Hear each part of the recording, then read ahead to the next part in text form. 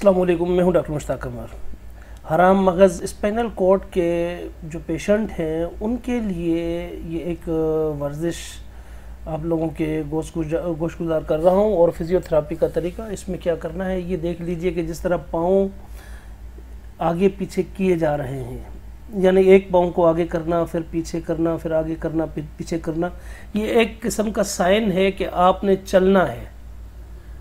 ये एक साइन दिया जा रहा है कि आपने चलना है। इसी तरह आपने ये जो आपकी स्क्रीन पर चल रहा है, वर्जिश चल रही है एक्सरसाइज चल रही है, इसी तरीके से आपने एक्सरसाइज करनी है। अब कुछ पेशेंट ऐसे हैं कि जो मूविंग नहीं कर सकते तो वो क्या करें? ये बहुत एक इम्पोर्टेंट चीज़ है यहाँ पर। ये समझने के लिए ज़रूरी है कि देखें, जिस तरह अब ये टांग को ऊपर किया, नीचे किया। टांग को ऊपर किया, नीचे किया। या पाँव को आगे पीछे किया। तो ये आप जो मरीज़ नहीं कर सकते खुद से, कोई और आपके घर में जो मौजूद हो, वो इसी तरह मरीज़ को एक्सरसाइज करवाएँ, मरीज़ की मरीज़ की जो है फिजियोथेरापी करें। ये आप देख सकते हैं कि जिस तरह टांग ऊपर नीचे की जा रही है। तो इसी तरीके से बिल्कुल सेम एज इट इज़ आपने मरीज़ के साथ करना है। इस तरीके से जब आप करते रहेंगे तो इन अज़ीज़ ये मरीज़ के लिए बहुत ज़्यादा बेहतर साबित हो सकता है। दूसरी बात यह है कि जैसे मैं पहले भी इसके मतलब काफ़ी हद तक बता चुका हूँ, बोल चुका हूँ, वही सारी चीज़ें आएँगी अब भी।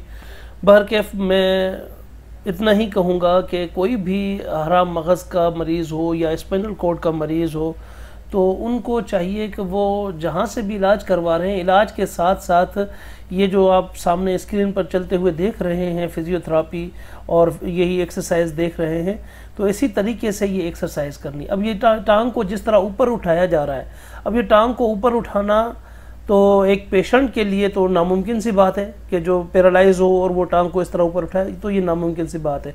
तो इसको आप कोई भी साथ में हो तो वो हाथ से टांग को ऊपर उठाए। इस तरह एक टांग को पहले उठा लिया, वो नीचे रखी, फिर दूसरी टांग को ऊपर उठाया, फिर वो उसको दूसरी टांग को भी नीचे रख दिया। इसी तरह ये टांग को ऊपर उठाना और नीचे रखना। इससे क्या होता है कि जो आर्टरीज आपकी जहाँ पर अगर ब्लॉकेज नीचे कमर की जगह पर होती है तो वो कमर की ब्लॉकेज भी इसमें अल्हम्दुलिल्लाह फिर ओपन हो जाती है। अब इसमें जो कमर की जगह पर ब्लॉकेज होती है ये मैं पहले भी जो एक आ, उसमें तेल के मौजू पर मैं इन चीज़ों के मतलब बता चुका हूँ कि आपने कौन कौन से जो है एज़ा वहाँ पर मुंजमद हो सकते हैं। यानी एसाब असस में ये चीज़ आ जाती है यानी कि सेक्रल नेरो में।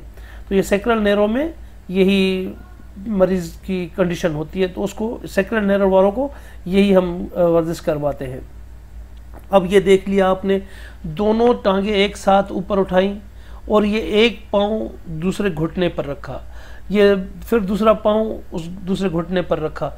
इसी तरह से ये वर्जिश करने से या एक्सरसाइज करने से या आपके जो फिजियोथेरापी इस तरह करने से ये मरीज़ के लिए बहुत एक अच्छी फिजियोथेरापी साबित होती है और इसमें अल्हम्दुलिल्लाह बहुत बेहतर तरीके से मरीज़ आगे सरवाइव कर सकते हैं।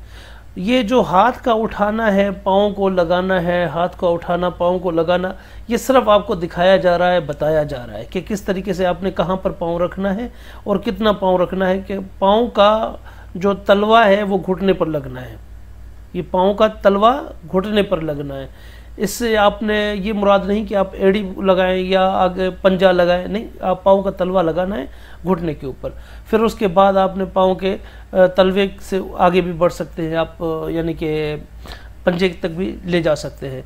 फिर उसके बाद जिस जिस तरह ये पाँव की मूविंग हो रही है टाँग की मूविंग करके और एक साइड पर उसको गिराया जा रहा है, फिर दूसरी साइड पर इस तरह गिराया जा रहा है। तो ये मूविंग अब ये मरीज़ खुद से नहीं कर सकता। तो ये मरीज़ तो खुद पैरालाइज है। तो आपका काम है कि जो साथ में रहने वाला है, उसके लिए ये पैगाम है कि उसका काम है कि वो मरीज़ को इस तरह मूव करवाता रहे। जब वो मरीज़ को इस तरह मूव करवाता रहेगा तो उसी कंडीशन में फिर मरीज़ अल्हम्दुलिल्लाह आहिस्ता आहिस्ता उस बेहतरी की तरफ़ जाता जाएगा। ये जो आप देख रहे हैं कि मूविंग ये मूविंग लाजिम है हमें।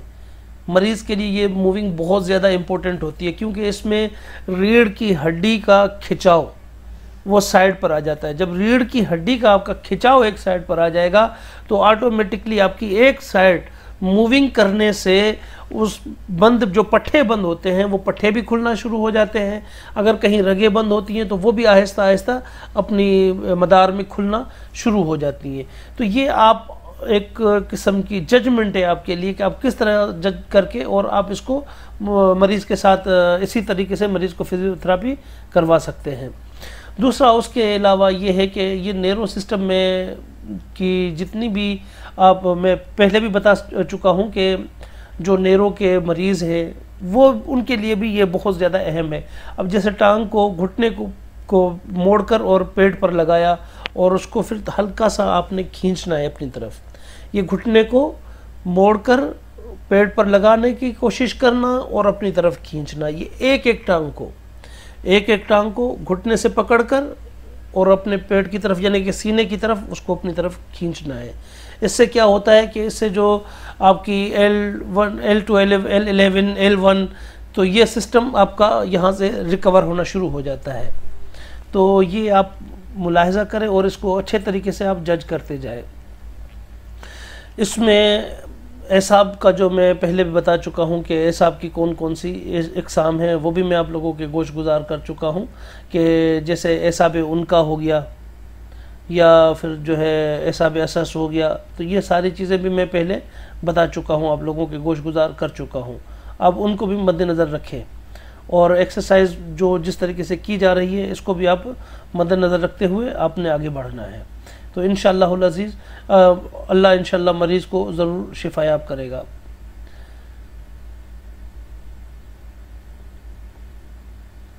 अब ये इसके बाद जो एक्सरसाइज आएगी, वो आप एक्सरसाइज आप के बहुत एक काम वाली एक्सरसाइज है, वो भी आप देख लीजिएगा।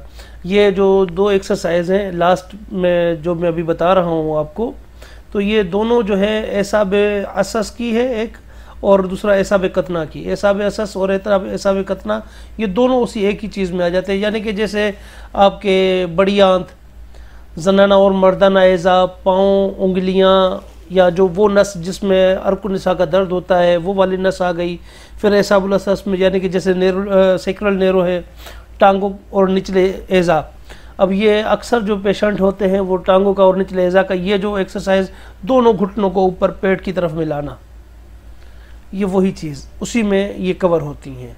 हाथों की एक्सरसाइज देखें, कमर की एक्सरसाइज देखें फिजियोथेरापी देखें, ये हाथ जिस तरह एक हाथ से दूसरे हाथ की तरफ़ लेके जाना फिर दूसरा हाथ उस हाथ की तरफ़ लेके आना, ये मूविंग है। ये आपकी फिजियोथेरापी इसी तरीके से, ये तो ऊपर वाला हिस्सा जिनका ठीक होता है, वो तो ख़ुद भी कर सकते हैं। जब वो खुद कर सकते हैं तो वो खुद भी करें तो बेहतर होता है। और ऐसे पेशेंट्स के लिए बेहतर होता है कि ऐसे पेशेंट्स जो हैं, वो ज़मीन पर वो ज़मीन पर अगर लेट कर करते हैं तो वो सोने पे सुहागा है क्योंकि ये चारपाई पर या बेड पर तो ठीक तरीके से नहीं हो सकेगी। तो बेहतर है उसके लिए कि वो ज़मीन पर लेट कर चित होकर और फिर उसके बाद ये फिज़ियोथेरापी करें। और अगर कोई मरीज़ खुद कर सकता है तो वो सोने पे सुहागा है। उस मरीज़ के लिए अगर ख़ुद से नहीं कर सकता तो वो आ, किसी से फिज़ियोथेरापी भी करवा ले। लेकिन यहाँ पर एक चीज़ मैं वाजह कर दूँ कि ये फिज़ियोथेरापी जब आप करते हैं या एक्सरसाइज करते हैं तो ये उस कंडीशन में और मज़ीद ज़्यादा बेहतर होती है कि जब जो रोगनियात आपने बनाई हैं ख़ुद से या आपने रोगनियात ख़रीदी हैं या आपको जो जहाँ से भी आप इलाज करवा रहे हैं वो आपको रोगनियात देते हैं तो वो रोगनियात आप मालिश करके फिर उसके बाद आप ये एक्सरसाइज और ये फिज़ियोथेरापी शुरू कर दें। अब जैसे कि ये आ, कुछ मरीज़ ऐसे होते हैं जो जिनका नीचे वाला धड़ काम भी करता है लेकिन काफ़ी हद तक वो लड़खड़ाते हैं या कोई एक साइड शल होती है उस कंडीशन में भी ये अब जो एक्सरसाइज आप देख रहे हैं कि आपने झुक कर ये इस तरीके से दोनों हाथ ज़मीन पर रख कर थोड़ा सा झुक कर और फिर घुटने को आगे पीछे करना है तो ये आप मुलायजा करें। इसको भी, ये भी आप लोगों के लिए बहुत ज़्यादा कारआमद साबित हो रही है। अब ये, वो मरीज़ जो बिल्कुल पैरालाइज हैं, वो मरीज़ तो इसको नहीं कर सकते। वो मरीज़ इस स्टेप पर बहुत देर से आते हैं। वो पहले वाले स्टेप क्लियर करते हैं, फिर उसके बाद ये स्टेप क्योंकि ये जितनी भी आपको एक्सरसाइज दिखाई जा रही है तो ये सारी फिजियोथेरापी की कंडीशन भी है एक्सरसाइज की कंडीशन भी है, या जिनके मोरे हिल चुके हैं, रीढ़ की हड्डी के, उनके लिए भी ये फ़ायदेमंद साबित होती है, या वो मरीज़ जो बिल्कुल ही आप समझते हैं कि रीढ़ की हड्डी के सिर्फ़ मरीज़ हैं, उनके लिए भी ये फ़ायदेमंद साबित हो सकती है। जो अच्छा ये भी याद रख लीजिए कि जिनका एक्सीडेंटली तौर पर स्पाइनल टूट चुका है तो उन मरीजों के लिए जो पहले वाली स्टार्टिंग वाली जो दो तीन एक्सरसाइज है स्टार्टिंग वाली तीन एक्सरसाइज तो वो उनके लिए तीन एक्सरसाइज स्टार्टिंग वाली। ये जो मेडोला वाली है मेडोला वाली ये लास्ट में मेडोला वाली आ जाती हैं कि जो मरीज़ पैरालाइज तो नहीं है, लेकिन ये मल्टीपल स्क्रूसिस वाले मरीज़ भी यही फिजियोथेरापी कर सकते हैं। जो मल्टीपल स्क्रोसिस के मरीज़ हैं, वो भी इसी थेरापी से फ़ायदा उठा सकते हैं। तो ये आप कर लें इन अज़ीज़ अल्लाह ने चाहा तो बहुत बेहतरी आएगी आप लोगों के लिए। अब ये इसी तरीके से हमने इसकी अब एक्सरसाइज जारी रखनी है। जिन भी मरीज़ों की हो तो ये इसी तरीके से आप एक्सरसाइज जारी रखें। इन अज़ीज़, बहुत ज़्यादा अफाका आएगा ऐसे मरीज़ों को। और दूसरा ये याद रख लीजिए कि कोई भी ऐसा मरीज़ हो तो ये एक्सरसाइज और ये फिज़ियोथेरापी उस उस टाइम जो है ये बहुत ज़्यादा बेहतर और एहसन तरीके से काम करती हैं। जब आपको जो दी हुई अद्वियात में जो रोगनियात इस्तेमाल, बैरूनी इस्तेमाल के लिए होती हैं, वो इस्तेमाल करने के बाद फिर जब आप ये एक्सरसाइज करते हैं तो अल्हम्दुलिल्लाह फिर बहुत ज़्यादा इसमें ये इफ़ेक्टिव होती हैं और बहुत ज़्यादा आपको अफाका भी होता है। तो ये नोट करते जाएँ और इसी तरीके से, बिल्कुल इसी तरीके से आपने मरीज़ को ये फिज़ियोथेरापी करवानी है। लेकिन ये जो एंड वाली फिजियोथेरापी है, ये भी याद रख लीजिए, ये उनके लिए है कि जो बिल्कुल पैरालाइज नहीं है। जो पैरालाइज है, उनके लिए जो फ़र्स्ट थ्री एक्सरसाइज है, वो फ़र्स्ट थ्री जो है, वो मरीज़ को आप आहिस्ता आहिस्ता करवा कर जब मरीज़ आहिस्ता आहिस्ता इस कंडीशन में आएगा तो फिर ये आगे इस कंडीशन में आप मरीज़ को एक्सरसाइज और ये फिजियोथेरापी आप करवाते रहें तो वो मरीज़ के लिए बहुत ज़्यादा कारआमद और फ़ायदेमंद साबित होता है। बाकी ये जैसे मैं पहले भी कह चुका हूँ कि एसाब ऐसा भी कमज़ोरी के मरीज़ जो हैं, वो भी इसको इस्तेमाल कर सकते हैं, क्योंकि एसाब दिमाग से जो निकलने वाले एसाब के जोड़े होते हैं, वो बारह होते हैं। और हराम मगज़ से जो निकलने वाले एसाब के जोड़े होते हैं, वो तेरह जोड़े होते हैं। अब इसमें पूरा जिसम आपका कवर होता है। और स्पेशली जो मरीज़ ऐसे हों कि जिनको नीचे का धड़, जिनका बिल्कुल काम करना छोड़ चुका हो तो उनको वो फ़र्स्ट थ्री एक्सरसाइज जो हैं, वो उनके लिए बहुत ज़्यादा अहम होती हैं, क्योंकि उस एक्सरसाइज करने से भी मरीज़ को काफ़ी हद तक अफाका भी आता है और मरीज़ काफ़ी हद तक वो बेहतर भी होते हैं। अब ये पेट को ऊपर नीचे करना, जिस तरीके से ये कंडीशन है लास्ट वाली तो ये पेट को ऊपर नीचे करने की जो ये कंडीशन है, ये भी आप मुलाहजा करें कि इसमें रीढ़ की हड्डी को ऊपर नीचे जो ये किया जा रहा है, इसको भी इस तरीके से करना है। थोड़ा तरीक़ेकार अगर होना चाहिए तो फिर अल्हम्दुलिल्लाह फिजियोथेरापी आप अपने घर में भी और ख़ुद भी करवा सकते हैं। आपको ज़रूरी नहीं है कि आप किसी सेंटर में जाकर और फिजियोथेरापी करवाएँ, आप घर में भी कर सकते हैं। ये इस वजह से आपको पूरा तरीका दिया जा रहा है ताकि आपके लिए कोई परेशानी ना हो। तो इस तरीके से आप करें। इन अज़ीज़, अल्लाह ने चाहा तो बहुत अफाका होगा। और मेरी दुआ है कि अल्लाह रबुल्ज़त तमाम ऐसे मरीज़ों को जल्द अज जल्द शिफा कामला सेहत कामला और शिफा कुल अता फ़रमाए, ताकि हर बंदा इस परेशानी से और इस मुसीबत से दूर हो सके।